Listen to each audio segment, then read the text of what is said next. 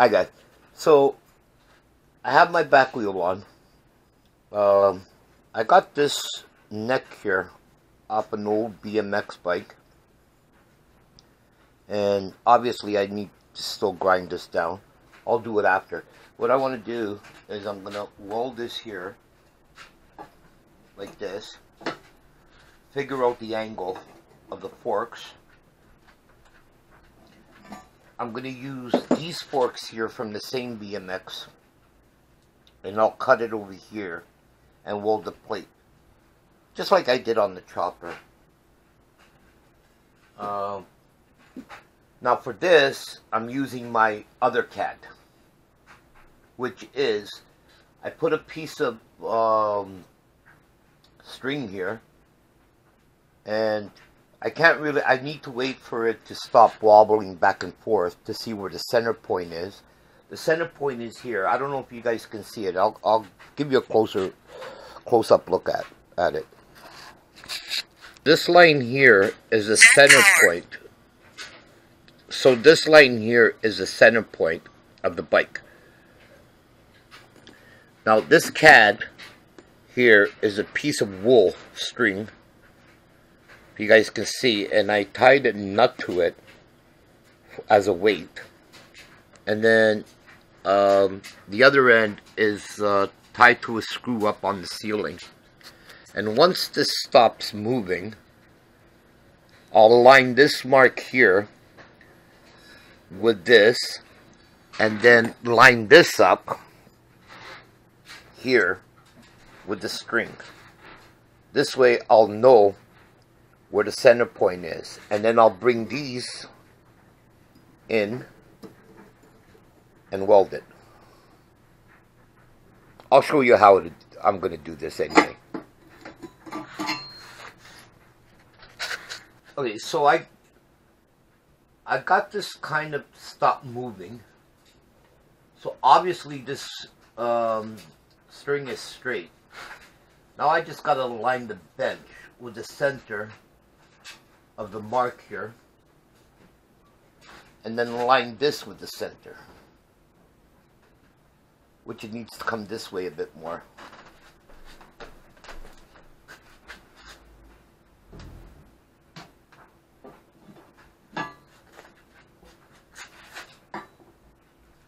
Oh and I just messed up the string again but let's see if I can make this work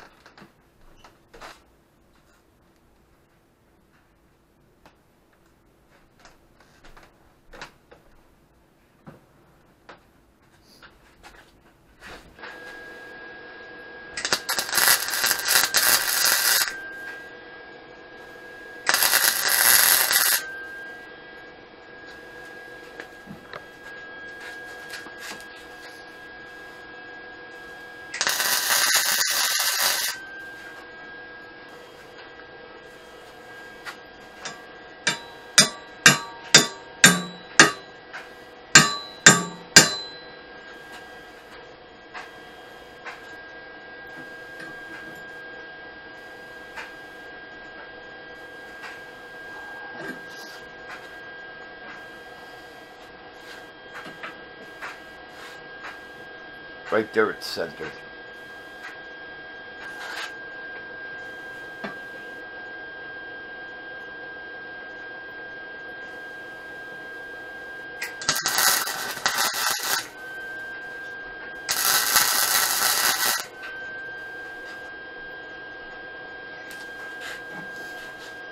Um, what I did, you, for those of you that watched my last video, you guys are going to notice it, so you're going to say, what the hell, you know. What I did was, I welded the neck down here. So I welded these parts up here. Then I realized I messed up, because the pipes, the tubes that are going to come from here and everything, there's nothing to weld onto. So I had to cut it off, raise it up, so these tubes here can weld onto here. Anyway, I just wanted to explain that before I get any bad comments about it and everything. Yeah, I screwed up. But anyway, I just fixed that. So now these, the neck is moved up. Those bars can come and weld up here now. Cool? Cool.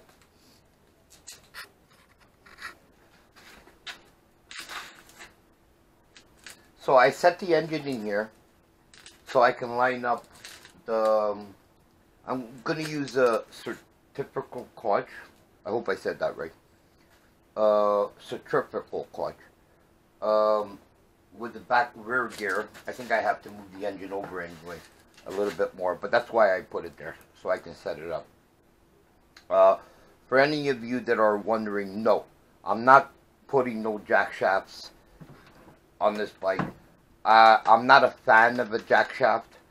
I think it's just a, a waste of money and uh, work to put a jack shaft on something like this. You got a 40, 420cc uh, engine with a uh, 54 tooth sprocket on the back and a 10 uh, tooth uh, sprocket on the front. Plenty of torque and lots of speed. You put a jack shaft here, you're reducing the speed and you're increasing torque. Yeah, maybe one day if somebody decides to um, bet me that I can't climb a mountain that's 10 miles high, maybe that day I'll put a jack shaft on one of my builds. But other than that, there's no need for a jack shaft. Um, so yeah, I'm going to line this up and then this way I can uh, bring these bars. I can figure out how to bring these bars here to here. And yeah, I'm going to go from there. Cool? Cool.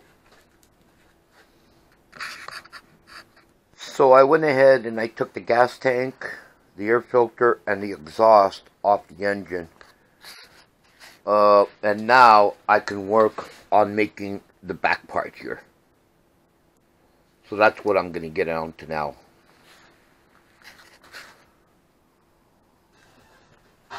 So for the back part here, I don't, it's square tubing, but I really don't want to make it as a square back here.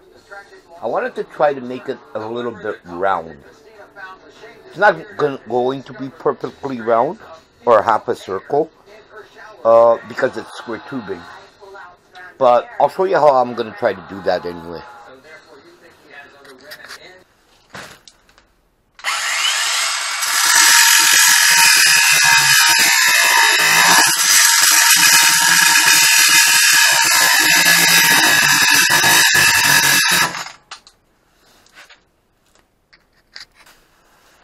So what I'm doing here is I'm making a few cuts. I'm going to make a few of them and then what I'll do is I'll bend this. Try to make it as round as possible. Yeah, you know what? I could make the cuts closer. It'll make it nice and rounder and everything. But then again, it's a lot of welding to do because I got to weld these back up again. Right? So I'm going to do them in about an inch, an inch and a half apart the cuts anyway. Alright, so I made I made four cuts on this side. I left a little here. And I made another four cuts on this side. And now I'm gonna bend them all together. So that's pretty it's gonna be pretty round. But the problem with this is I need to bring this lined up with that let me just turn the camera here around a bit.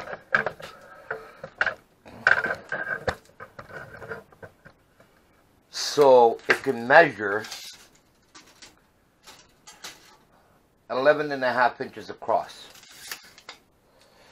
So, yeah, there's quite a bit more doing the cut.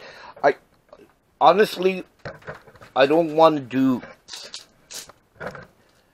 too many cuts because the more cuts I do, the more welding I have to make. Right? So what I think I'll do is I'll come in here and then slice this a little bit more once it's closed to open the gap up and then it'll bend a little bit more. So let's do that.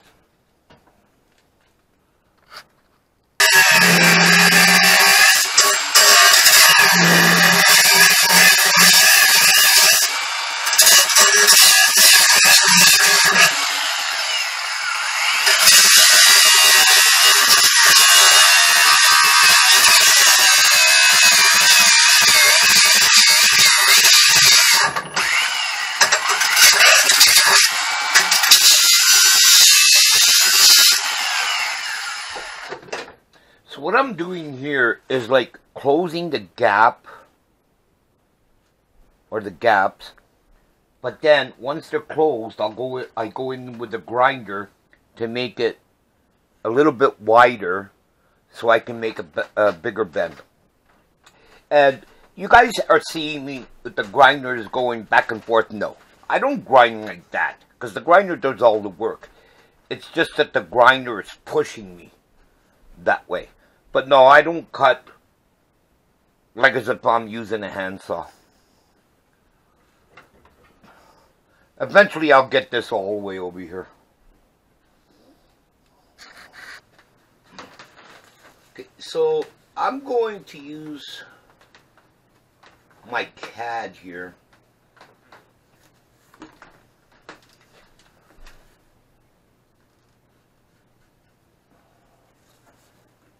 In order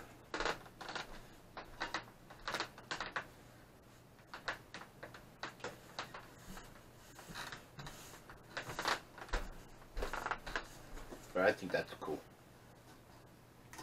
In order, in order to make it round, I'll cut this around, and then I'll know over here. Sorry, guys. I'll know over here how far I have to go. Like I said earlier, I know I need to bring this straight with that, right? So I have to make a few more cuts.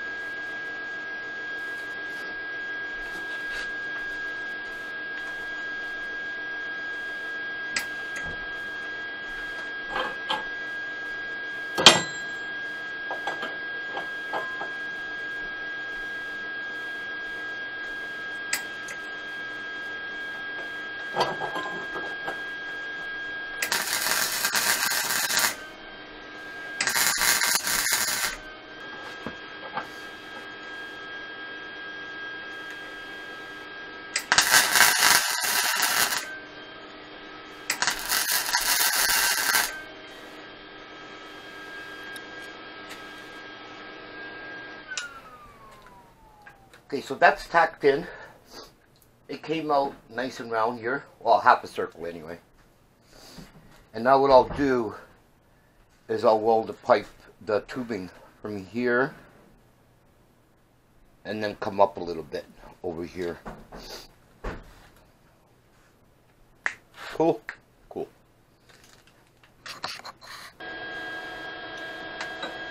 Okay, so for this, I'm just going to use my eyes.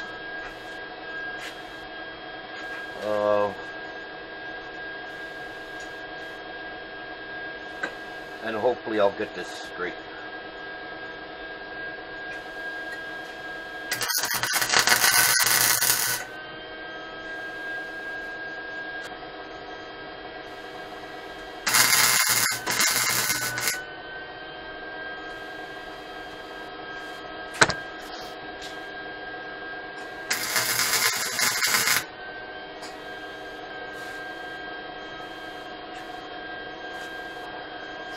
Yeah, it looks pretty good.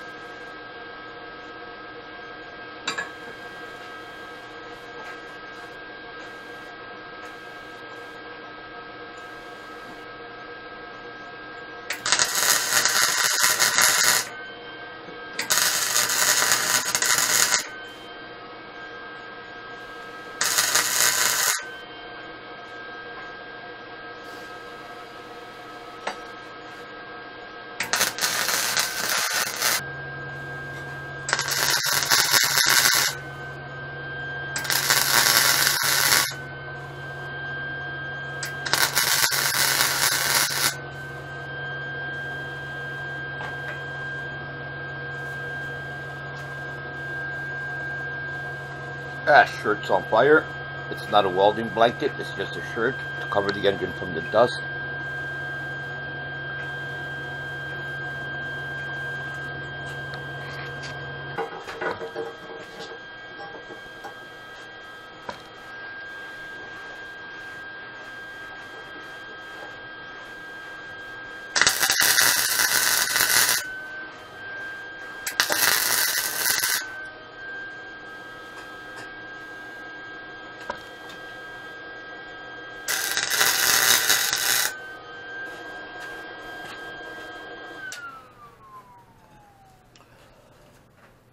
So here's where I am so far. Uh, it's coming out pretty good, I think. Um, this bike here. Oh, I have the gas tank to go on here. Which is going to sit right there. Should look pretty cool. Uh, my brother-in-law actually wants to buy this bike. He's already said he's going to buy the bike. He lives about two hours away from me. Um, I don't think I'm going to make this tank like I did on the chopper bike look like a, a, a bike tank. I think I'm just going to leave it this way. Unless he wants to pay me to... Uh, to modify it. But, yeah, um, he's to watch this video, and uh, I just want to let him know, before you get this bike, I'm to kick the shit out of it. I'm to jump mountains with it. Anyway, I'm to leave the video here. Uh, and then on my next video, what I'm to do is uh, I'm to make the forks for it. And then I still have to make the seat. Plus, this is only tack welded together, so I have to completely weld everything together, solid. So yeah, anyway, thanks for watching, and I'll see you on my next video. Cheers, guys.